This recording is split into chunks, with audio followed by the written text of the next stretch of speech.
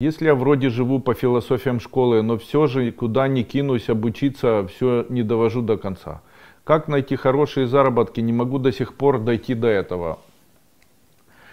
Хорошие заработки начинаются с большого количества знакомых. Есть три правила больших заработков. Первое правило больших заработков. Чем больше у вас знакомых, тем больше вы будете зарабатывать. Кто ваши знакомые? Где вы их находите? Задайте себе вопрос, сколько у вас знакомых?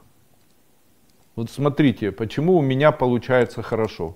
На сегодняшний день, если разобраться, то в нашей эзотерической школе за миллион человек. То есть фактически можно сказать, что в нашей школе там миллион людей, которые хотели бы что-либо от меня.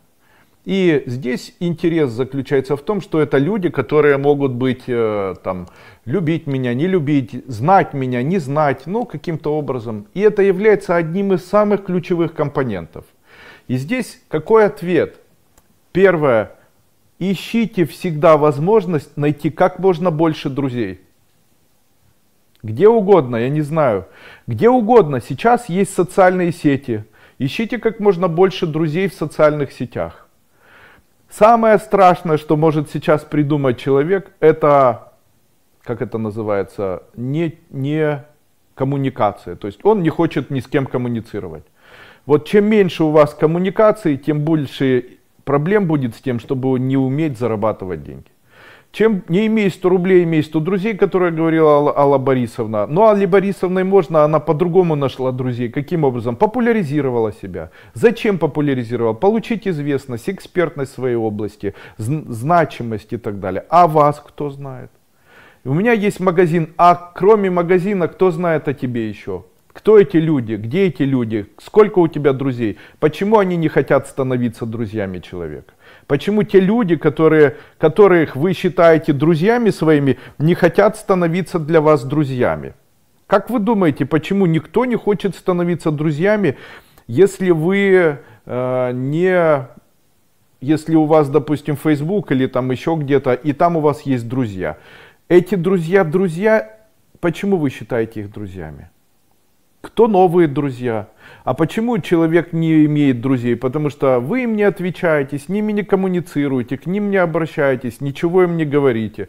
Потому что обычно это выглядит так. Вы думаете, где-то скачали чью-то картинку, им опубликовали. Так картинка это секунда. Человек секунду посмотрел и все. Зачем вы ему нужны?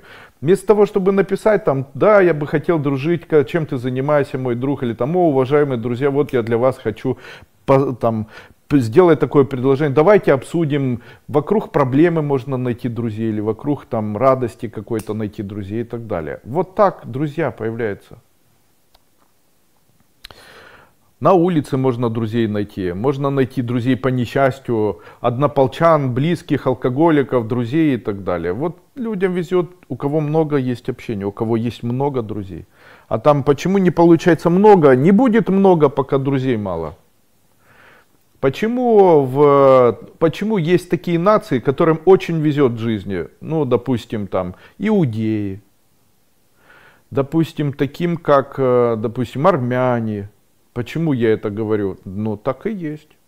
Почему этим людям везет? И украинцам тоже, многим причем. Почему везет?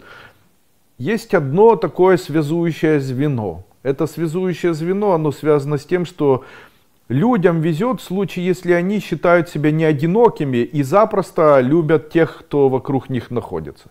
Евреи молятся в синагоге за евреев и еврейский народ. Армяне имеют четко такую выраженную культуру, в которой ценится то, что ты армянин, то, что все армянское, для армян, Армения и так далее.